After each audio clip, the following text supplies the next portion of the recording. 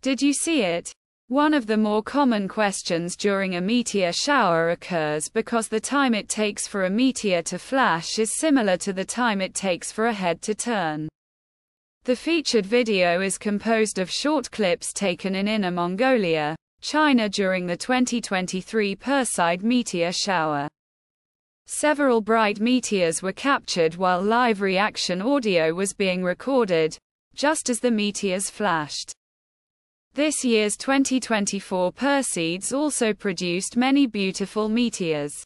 Another good meteor shower to watch for is the Geminids which peak yearly in mid-December, this year with relatively little competing glow from a nearly new moon. Your sky surprise. What picture did Apod feature on your birthday?